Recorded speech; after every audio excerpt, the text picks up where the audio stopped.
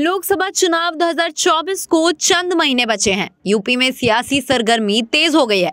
सभी दल अपनी ताकत झोंकने में लग गए हैं, वहीं बसपा की मुश्किलें अब बढ़ती नज़र आ रही हैं। चुनाव से ठीक पहले मायावती का अपने साथ छोड़ते हुए नज़र आ रहे हैं। वहीं लोकसभा चुनाव एनडीए बनाम इंडिया के शोर में बसपा सुप्रीमो मायावती का अपने दम पर चुनाव लड़ने का फैसला अब उन्हीं के खिलाफ होता हुआ नज़र आ रहा है।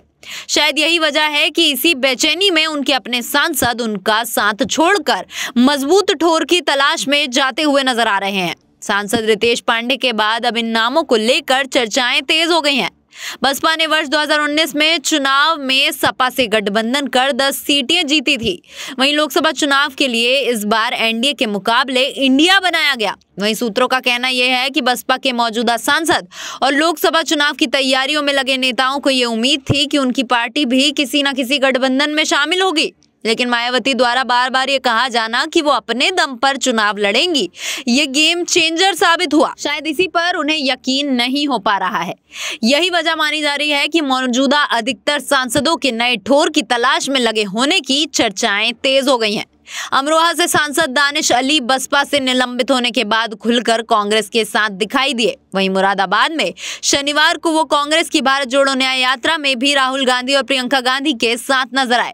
गाजीपुर से सांसद अफजाल अंसारी को सपा अपनी उम्मीदवार घोषित कर चुकी है। इसके अलावा कई और सांसद भी हैं जो दूसरे दलों के साथ नज़र आ रहे हैं। जौनपुर के श्याम सिंह यादव और लालगंज के सांसद संगीता आज़ाद के बारे में तो चर्चाएँ फैली हुई हैं। सहारन की हाजी फरुल्ला रहमान भी सांसद हैं, लेकिन बसपा नहीं। वो मजीद अली को लोकसभा प्रभारी भी वहीं घोषित किया हुआ है और बिजनौर के सांसद मलूक नागर भी भाजपा के पिछले बजट की तारीफ़ करने के बाद अब चर्चाओं में हैं। श्रावस्ती के सांसद राम शिरोमणि वर्मा के बारे में भी चर्चाएँ तेज हैं। तो अब ऐसे में देखना ये होगा कि बसपा अपने कितने सांसदों को रोक पाने में कामयाब होती है और कितने सांसद मायावती का साथ छोड़ते हुए नज़र आते हैं।